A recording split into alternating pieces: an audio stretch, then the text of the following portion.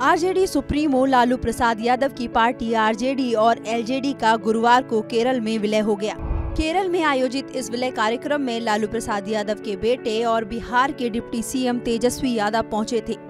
तेजस्वी यादव के साथ सांसद मनोज झा और पार्टी के दिग्गज नेता अब्दुल बारी सिद्दीकी भी मौजूद थे।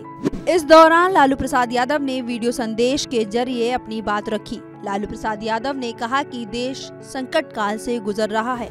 लालू प्रसाद यादव ने इसके साथ ही कहा कि यहाँ पर सांप्रदायिक सौहार्द, संघवाद और क्षेत्रीय विविधता को लगातार खत्म करने की कोशिश की जा रही है। मैं आप लोगों को ये लगातार कहते आ रहा हूँ, केरल के सभी साथियों को आज इस ऐतिहासिक दिन पर मेरी ओर से बधाई।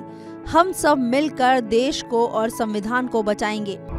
डिप्टी सीएम तेजस्वी यादव आप सबके बीच आते रहेंगे। मैं भी आप लोगों के बीच जल्दी आऊँगा।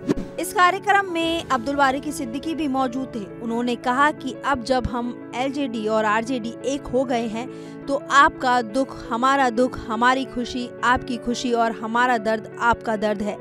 जो रिश्ता हम लोगों ने बनाया है, वो नीतिगत है। वहीं तेजस्वी यादव ने कार्यक्रम के बाद मीडिया से कहा कि भारत के संविधान के अनुसार जाति आधारित गणना केवल केंद्र सरकार द्वारा की जाती है what we want, like, it should happen in all over the country.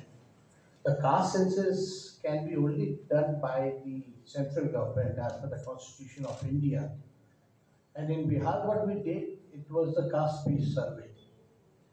So I personally, and even in my alliance, that uh, new alliance with what we had formed, the India Alliance, had already been demanding continuously. And all the several leaders, like big leaders like even Rahul Gandhi ji, and even that party was also, also the part of the India Alliance, they have been also raising this issue. That even Yachuri everyone, that caste census should happen. But as you are aware, as per the routine, like after every 10 years, there is a census which happens in the country. And still it is due. The due date was in 21, today is 23. So that is not happening. So I guess that BJP, they are really afraid of getting the caste census done. आपको बता दें कि लोकतांत्रिक जनता दल केरल की क्षेत्रीय party थी कोझिकोड में कार्यक्रम का आयोजन किया गया था। दोनों पार्टियों के हाथ मिलाने से अब आरजेडी की उपस्थिति बिहार के अलावा झारखंड और केरल विधानसभा में हो जाएगी।